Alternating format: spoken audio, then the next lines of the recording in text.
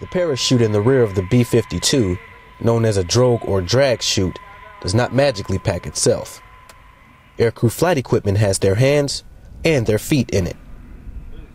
Uh, right now, we're packing a B 52 de- deceleration parachute. Uh, basically, aids the brake- braking system on the B 52 aircraft. Well, the chute is important. Um, when the aircraft is getting ready to land, it's not so hard on the brakes. That's basically an item that is used to aid that. From the packing of the drag chute to its use in flight, proficiency is key.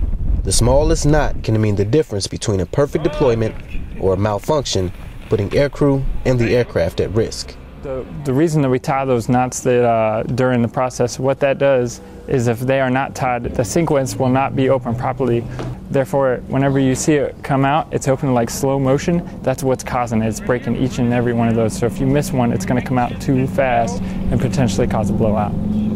Training never stops. Even in a contingency operation, the mentality of train like you fight is ever prevalent. Training proficiency is important to us because every day we're putting aircrew members' lives in our hands. Once the B-52 deceleration parachute is attached, it's serviceable. Uh, once it is used, the aircrew members use that to aid the braking system. If that parachute does not operate as it is intended purpose, it can cause safety of flight, not only for the aircraft, but for the aircrew. From RAF Fairford in the United Kingdom, I'm Air Force Staff Sergeant Isaac Garden.